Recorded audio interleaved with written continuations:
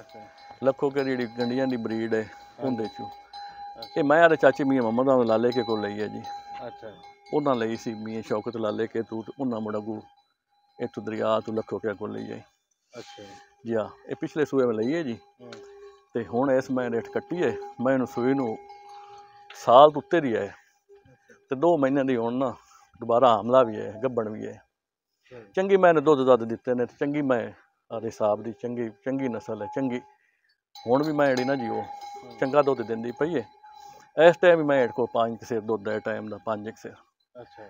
ਜੀ ਸਾਲ ਤੋਂ ਮੈਂ ਉੱਤੇ ਦੇ ਹੋ ਗਏ ਸੂਈ ਨੂੰ। ਤੇ ਅੱਛੀ ਨਸਲ ਹੈ ਇਹਦੀ ਬੜੀ ਚੰਗੀ ਬਰੀਡ ਹੈ ਜੀ ਇਹ।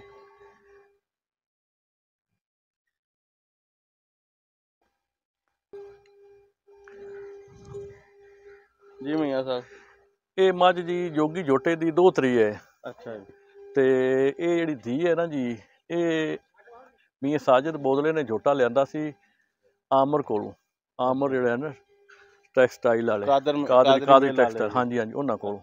ਇਹ ਗੁਲਾਬਾ ਮਾਈ ਉਹਨਾਂ ਦਾ ਝੋਟਾ ਜੀ। ਅੱਛਾ। ਉਹਦੀ ਧੀ ਹੈ ਤੇ ਇਹਦੀ ਜਿਹੜੀ ਮਾਂ ਹੈ ਨਾ ਉਹ ਜੋਗੀ ਜੋਟੇ ਦੀ ਧੀ ਹੈ। ਜੋਗੀ ਜੋਟੇ 'ਚ ਜਿਹੜਾ ਥੋੜਾ ਜਿਹਾ ਹਾਂ ਨਾ ਕੱਦ ਛੋਟੇ ਹੁੰਦੇ ਆ। ਅੱਛਾ ਜੀ। ਉਂਝ ਮੈਂ ਚੱਡੇ ਬਾਸ ਚੰਗੀਆਂ ਨੇ। ਤੇ ਦੁਧੇਲ ਵੀ ਮਈਆਂ ਨੇ। ਤੇ ਬੜਾ ਜਿਹੜਾ ਨਾ ਟਾਈਮ ਤੱਕ ਮਿਲਦੀਆਂ ਨੇ ਤੇ ਬਰੀਕ ਮਈਆਂ ਨੇ ਬਰੀਕ ਬੜੀਆਂ ਬਰੀਕ ਮਈਆਂ ਨੇ ਪੂਛਲ ਪਾਛਲ ਮਈ ਦੇ ਚੰਗੇ। ਹੁਣ ਮੈਂ ਚੌਥਾ ਸੂਆ ਸੂਈ ਏ ਇਹਨੇ ਕਟੀਆਂ ਹੀ ਦਿੱਤੀਆਂ ਸਾਰੀਆਂ। ਮਾਸ਼ਾਅੱਲਾ ਜੀ। ਜੀ ਹਾਂ ਹੁਣ ਵੀ ਕੱਟੀ ਏ ਤੇ ਤਰਾਏ ਕੱਟੀ ਤੇ ਅੱਗੇ ਹੀ ਮੇਰੇ ਕੋਲ ਖੜੀਆਂ ਨੇ। ਅੱਛਾ ਜੀ। ਜੀ ਹਾਂ। ਤੇ ਜੋਗੀ ਜੋਟ ਕੈਸੀ ਹੈ ਜੀ?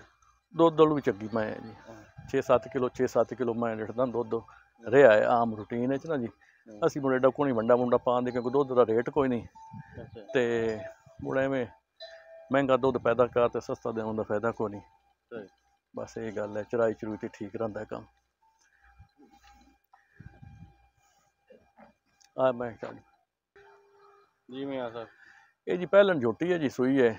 ਇਹਨੂੰ ਵੀ ਸਾਲ ਤੋਂ ਉੱਤੇ ਦਿਨ ਹੋ ਗਏ। ਤੇ ਇਹ ਜਿਹੜੀ ਨਾ ਜੀ ਇਹਦਾ ਜਿਹੜਾ ਪਿਓ ਹੈ ਬਲੋਚੀਆ ਮੈਂ ਚਵਾ ਸਾਹਿਬ ਦਰਸ਼ਾ ਦੇ ਬਲੋਚੀਆ ਮੈਂ ਚ। ਉਹ ਲਿਆਂਦਾ ਕੱਟਾ ਤੇ ਉਹ ਝੋਟਾ ਬਣਿਆ। ਇਹਨੂੰ ਪਹਿਲਣ ਮੈਂ ਸੂਈ ਹੈ ਜੀ। ਹੇਠ ਕੱਟੀ ਹੈ ਇਸੋਂ। ਅੱਛਾ। ਤੇ ਸੂਈ ਨੂੰ ਵੀ ਇਹਨੂੰ ਹੋ ਗਏ ਨੇ ਕੋਈ ਸਾਲ ਦੇ ਉੱਤੇ ਹੀ ਹੋ ਗਏ। ਹੁਣ ਮੈਂ ਮੁੜ ਗੱਬਣ ਹੈ 3-4 ਕਿਲੋਮੀਟਰ ਹੁਣ ਦੁੱਧ ਹੈ। ਤੇ ਹੁਣ ਵਿਓਕੀ ਜਾਂਦੀ ਹੈ। ਤੇ ਪਹਿਲਣ ਸੂਈ ਹੈ ਜੀ। ਚੰਗੀ ਮੈਂ ਚੰਗਾ ਦੁੱਧ ਦਿੱਤਾ ਪਹਿਲਣ ਉਹ ਤੇ ਨਾ ਜੀ। ਹਾਂਜੀ। 6-7 ਸੇਰ ਨੂੰ ਮੈਂ ਆਪਣੀ ਦੀ ਰਹੀ ਹੈ ਟਾਈਮ ਨੂੰ। ਕਿਸੇ ਵੱਡੇ ਖਾਲ ਤੋਂ ਬਗੈਰ। ਚਰਾਈ ਚਰੂ ਚਰਾਈ ਚੰਗੀ ਕਰਾਣੇ ਅਸੀਂ ਪੱਠੇ ਪੁੱਠੇ ਚੰਗੇ ਪਾਣੇ ਆ ਜੀ ਮੀਆਂ ਸਾਹਿਬ ਚਰਾਈ ਦਾ ਦੱਸ ਰਹੇ ਬਸ ਸੀ ਚਰਾਈ ਕਰਾਣੇ ਜੀ ਚਰਾਈ ਦਾ ਹੀ ਇਹਦਾ ਸਾਡਾ ਘਣਾ ਸ਼ੌਕ ਹੈ ਚਰਾਈ ਦਾ ਹੀ। ਚਰਾਈ ਤੇ ਮੈਂ ਨੇ ਤੇ ਇਹਦਾ ਦੁੱਧ ਦਿੱਤਾ 6-7 ਕਿਲੋ 6.5 ਕਿਲੋ ਟਾਈਮ ਦਾ ਦੁੱਧ ਦਿੰਦੀ ਰਹੀ ਹੈ ਪਹਿਲਣ ਉਹ ਤੇ। ਸਹੀ। ਜੀ ਹਾਂ। ਹੁਣ ਕੀ ਪੋਜੀਸ਼ਨ ਹੈ ਜੀ? ਹੁਣ ਮੈਂ ਗੱਭਣ ਜੀ ਤਰੋਂਕ ਮਹੀਨਾ ਚਾਹੁੰਦੀ ਅੱਛਾ। ਤੇ ਸਾਲ ਦੇ ਉੱਤੇ ਸੂਈ ਹੋਈ ਹੈ ਹੂੰ। ਤੇ ਦੁੱਧ ਹੁਣ ਵੀ ਇਹਦੇ ਟੋਸੀ ਕੁਤਰਾ ਚਾਰ ਸਿਰ ਪੰਜ ਸਿਰ। ਚਾਰ ਚਾਰ ਕੁ ਸਿਰ ਉਸੇ ਟਾਈਮ ਦਾ ਯਾ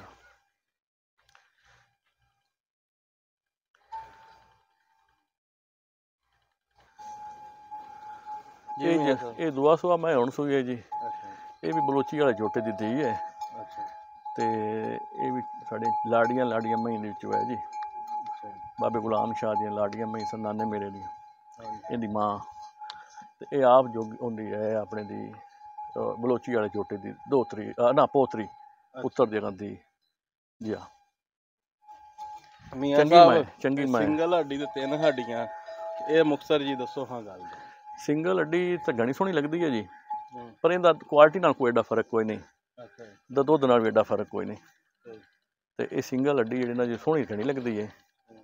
ਤੇ ਨਿੱਕੇ ਨਿੱਕੇ ਮਿਕਰਾਂ ਨਾਲ ਹੋਵਣ ਵੀ। ਤੇ ਹਰ ਜੀ ਕੋਣੀ ਵੀ ਹਿੱਕ ਹੋਵੇ ਤਾਂ ਮੁੜ ਤਾਂ ਕਿਆ ਬਾਤ ਹੈ। ਜੀ, ਹਾਂ ਇਹ ਖੂਬਸੂਰਤੀ ਚ ਹੈ ਜੀ। ਜੀ, ਇਹਦੇ ਚ ਕੋਈ ਜਿਹੜਾ ਨਾ ਕੁਆਲਿਟੀ ਦਾ ਫ਼ਰਕ ਮੈਂ ਨਹੀਂ ਸਮਝਦਾ ਕੋਈ ਕੋਈ- ਕੁਆਲਿਟੀ ਦਾ ਕੋਈ ਜਿਹੜਾ ਨਾ ਜੀ ਉਹ ਉਹ ਇਹਦੇ ਤੋਂ ਫ਼ਰਕ ਪੈਂਦਾ ਹੋਵੇ। ਜੀ ਹਾਂ ਇਹ ਦੂਜਾ ਸੁਭਾਅ ਹੁਣ ਸੂਈ ਹੈ ਦੋ ਕੁ ਮਹੀਨੇ ਹੋ ਗਏ ਕੱਟਾ ਇਸ ਪਿਛਲੀ ਵਾਰੀ ਵੀ ਕੱਟਾ ਹੁਣ ਵੀ ਕੱਟਾ। ਦੁਧੇੜ ਮੈਂ ਹੈ ਅੱਠ ਕੁ ਸਿਰ ਮੈਂ ਦੁੱਧ ਦਿੰਦੀ ਪਈ ਹੈ। ਜੀ। ਹਾਂ ਇਹ ਹੁਣ ਦੂਸਰਾ ਸੂਆ ਸੋਣਾ ਜੀ ਇਹਨੇ। ਥੋੜੀ ਜਿਹੀ ਡਿਸਟਰਬ ਹੋਈ ਖੋਤੀ ਹੈ ਰਾਂਦੀ ਨਹੀਂ ਪਈ। ਜੀ, ਤੇ ਇਹ ਜੋਟੀ ਜਿਹੜੀ ਨਾ ਜੀ ਆ ਦੋਵੇਂ ਭੈਣਾਂ ਨੇ ਪਹਿਲੀ ਤੇ ਪਿਓ ਇਹ ਸਵਾਵੀ ਵਾਲੇ ਜੋਟੇ ਦੀ ਧੀ ਹੈ ਜੀ। ਅੱਛਾ ਜੀ, ਇੱਕ ਸਵਾਵੀ ਵਾਲਾ ਜੋਟਾ ਮੈਂ ਲਿਆਂਦਾ ਕੌੜੇ ਖੂਹ ਤੋਂ ਫਿਰ ਇਜਾਜ਼ਤ ਮੈਨੂੰ ਲੈਤਾ ਜੀ। ਮੀਆਂ ਸਾਹਿਬ ਬੇਲ ਬੂਲ ਤੇ ਚੰਗੀ ਮਾਸ਼ਾਅੱਲਾ ਜੀ ਹਾਂ। ਮਗਰੂ ਮੈਂ ਖਾਵੀ ਨਹੀਂ ਉੱਥੇ ਤੇ ਇਹ ਮੈਂ ਥੋੜੀ ਜਿਹੀ ਨਾ ਜੀ ਬੱਚੇਦਾਨੀ ਚ ਕੋਈ ਮਸਲਾ ਬਣਾ ਖਲਾਸ। ਮੈਂ ਚੰਗਾ ਪਹਿਲਾ ਸਵਾਲ ਮੈਂ ਚੰਗਾ ਦੁੱਧ ਦਿੱਤੇ ਨੇ। ਅੱਛਾ ਜੀ। ਜੀ ਹਾਂ ਤੇ ਹੁਣ ਮੈਂ ਜਿਹੜਾ ਨਾ ਜੀ ਉਹ ਮੁੜ ਰਾਂਦੀ ਨਹੀਂ ਪਈ ਸਾਲ ਹੋ ਗਿਆ ਪੂਰਾ। ਮੱਝ ਰਾਂਦੀ ਨਹੀਂ ਪਈ। ਤੇ ਦੁਆਈ ਕਰਦੇ ਪਏ ਅੱਲਾਹ ਤਾਲਾ। ਮਿਹਰਬਾਨੀ ਕਰਸੀ ਬੜੀਆਂ ਚੰਗੀਆਂ ਮਹੀਂ ਚੁਏ ਬੜੀ ਚੰਗੀ ਜੋਟੀ ਹੈ ਜੀ। ਤੇ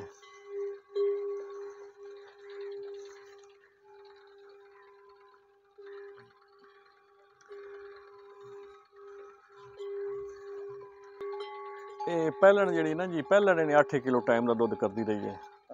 ਮਤਲਬ ਮੈਂ ਮੁੜ ਬਾਅਦ ਇਹ ਕਰਦੇ ਮੈਂ ਕਿ ਅਸੀਂ ਬਹੁਤ ਜ਼ਿਆਦਾ ਵੱਡਾ ਨਹੀਂ ਪਾਉਂਦੇ। ਚਰਾਈ ਚਰੂਈ ਘਣੀ ਕਰਾਣੇ ਆ। ਤੇ ਉਹਦੇ ਤੇ ਨਾ ਜੀ ਪਹਿਲਣ ਉਹ ਦਿਨ ਚੰਗਾ ਦੁੱਧ ਦਿੱਤਾ। ਹੈ ਜੀ। ਹਾਂ ਤੇ ਹੁਣ ਪਤਾ ਨਹੀਂ ਕੋਈ ਮੈਨੂੰ ਨਕਸ ਬਣ ਗਿਆ। ਤੇ ਅੱਲਾ ਖੈਰ ਕਰਸੀ ਜੀ ਜੀ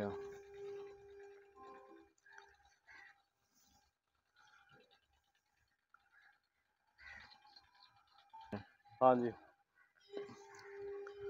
ਦੱਸੋ ਇਹ- ਮੀਆਂ ਇਹ- ਸਾਹਿਬ ਇਹ ਵੀ ਜੀ ਪਹਿਲਣ ਹੈ ਇੱਕ ਸੂਆ ਇਹਨੇ ਕੰਨੀ ਮਾਰ ਤੇ ਸੂਈ ਹੈ ਅੱਛਾ ਜੀ, ਤੇ ਇਹ ਵੀ ਉਸ ਅਗਲੀ ਜਿਹੜੀ ਜੋਟੀ ਤੁਹਾਨੂੰ ਵਿਖਾਈ ਹੈ ਸਵਾਵੀ ਵਾਲੀ ਉਹਦੀ ਭੈਣ ਹੈ ਪਿਓ ਮਾਂ ਨਹੀਂ। ਅੱਛਾ ਜੀ, ਹੁਣ ਸੂ ਪਈ ਹੈ ਅੱਛਾ ਜੀ, ਤੇ ਹੁਣ ਵੀ ਚੰਗੀ ਮੈਂ ਨਿਕਲੀ ਹੈ ਜੀ ਚੰਗਾ ਦੁੱਧ ਦਿੰਦੀ ਪਈ ਹੈ ਹੁਣ ਵੀ 6 ਕਿਲੋ ਮੈਂ ਦੁੱਧ ਹੈ ਸਾਰੀ ਏਠ ਅੱਛਾ ਜੀ। ਪਹਿਲਣ ਜਿਹੜੀ ਨਾ ਜੀ ਮੀਆਂ ਮਹੀਨਾ ਸਾਹਿਬ ਡੋਡ ਹੋ ਗਿਆ ਮਹੀਨਾ ਕੁ ਹੋ ਗਿਆ ਸੂਈ ਨੂੰ।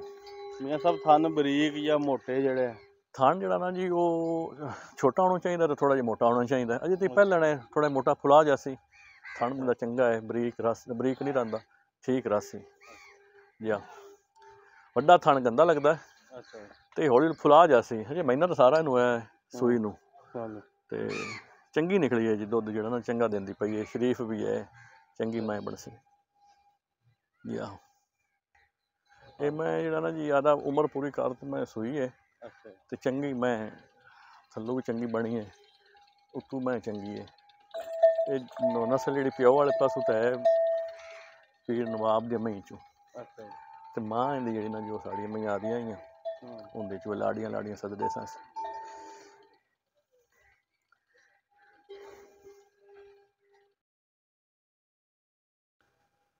ਇਹ ਸਾਡੇ ਨਾ ਜੀ ਹਾਂਜੀ ਜਿਹੜੀ ਮੈਂ ਬਗੈਰ ਵੰਡੇ ਤੋਂ ਸਾਰੇ ਦਿਨ ਦਾ ਸਵੇਰ ਸ਼ਾਮ ਦਾ ਦੇ ਵਿੱਚ ਆ ਨਾ ਜਿਹੜੀ 12 ਕੁ ਕਿਲੋ ਦੁੱਧ। ਹਾਂਜੀ। ਉਹ ਮੈਂ ਚੰਗੀ ਗਿਣਦਾ ਹੈ। ਅੱਛਾ ਤੇ ਜਿਹੜੀ ਮੈਂ ਦੇ ਵਿੱਚ ਆ 16 18 ਕਿਲੋ ਦੁੱਧ ਵੰਡਾ ਪਾ ਤੇ ਹਾਂਜੀ। ਇੱਕ ਦੋ ਸੇਰ ਚਰਾਈ ਤੇ ਚੰਗੀ ਮੈਂ ਹੁੰਦੀ ਹੈ ਜੀ। ਆ ਹੁਣ ਐਵੇਂ ਕੂੜ ਮਾਰੀ ਰੱਖੀਏ ਕਹਿੰਦਾ ਇੰਨਾ ਨਹੀਂ। ਆਮ ਸਾਡੇ ਦਰਿਆ ਤੇ ਜਿਹੜੀ ਹੈ ਨਾ ਖੁਰਾਕ ਉਹਦੇ ਉਹਦੇ ਨਾਲ। ਤੇ ਇਹ ਮੈਂ ਇਸ ਉਤਾਂ ਜਾਂਦੀ ਹੈ ਨਾ ਉਤਲੇ ਪਾਸੇ ਸਿਆਲਕੋਟ ਨੂੰ ਤੇ ਗੁਜਰਾਤ ਨੂੰ ਤੇ ਲਾਹੌਰ ਨੂੰ। ਉਸ ਮੈਂ ਮੁੜੇ ਬਾਅਦ ਤੇ ਖਾਂਦੀਆਂ ਨੇ ਤੇ ਚੰਗਾ ਪੱਠਾ ਉਸ ਮੈਂ ਦੁੱਧ ਤੇ ਵੱਧ ਜਾਂਦੀਆਂ ਨੇ। ਹਾਂਜੀ ਉੱਥੇ ਮੈਂ 20 20 ਸ਼ੇਰ ਵੀ ਉੱਪੜ ਜਾਂਦੀ ਹੈ। ਇੱਥੇ ਮੁੜ ਸਾਨੂੰ ਘਣਾ ਘੱਤਣ ਦੀ ਜ਼ਰੂਰਤ ਇਸ ਗੱਲੋਂ ਨਹੀਂ ਹੁੰਦੀ ਕਿਉਂਕਿ ਅਸੀਂ ਘਣਾ ਦੁੱਧ ਲੈ ਤੇ ਤੇ ਸਸਤਾ ਵੇਚਣ ਦਾ ਫਾਇਦਾ ਕੋਈ ਨਹੀਂ। ਵੰਡਾ ਮਹਿੰਗਾ ਹੈ ਪੱਠੇ ਮਹਿੰਗੇ ਨੇ। ਦੁੱਧ ਸਸਤਾ ਹੈ 100 ਰੁਪਏ ਕਿਲੋ ਹੈ। ਹਾਂਜੀ। ਤੇ ਮੁੜ ਅਸੀਂ 6 ਸੇਰ ਵਾਲੇ ਨੂੰ ਲੈ ਜਾਈਏ 10 ਸੇਰ ਤੇ।